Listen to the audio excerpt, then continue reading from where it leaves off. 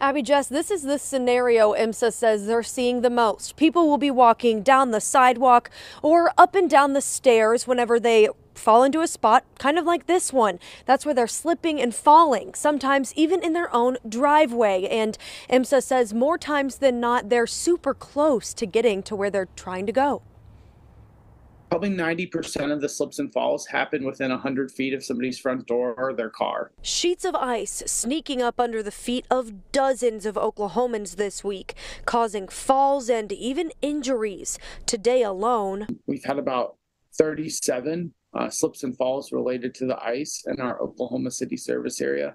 And out of those, uh, probably 30 patients have been transported to the hospital because of their fall. Broken bones, head injuries, concussions, even possible skull fractures. Anytime you fall, you have the opportunity to do some really catastrophic damage to your body um, especially if you're falling and you don't brace your fall or you're not able to kind of break the fall. Some just can't get up without falling again. Even if they're just stepping outside to grab the mail or get the paper, uh, that they have a cell phone with them.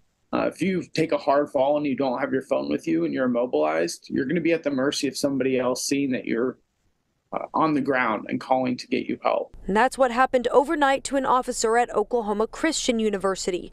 The officer fell and called 911.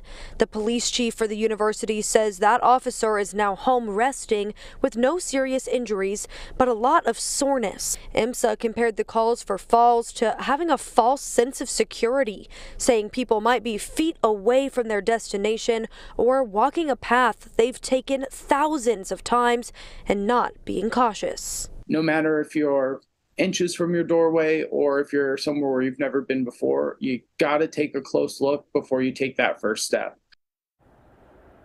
So, the message today, as we're seeing the sun finally again and it warms up a bit, is to always remain cautious after these winter storms.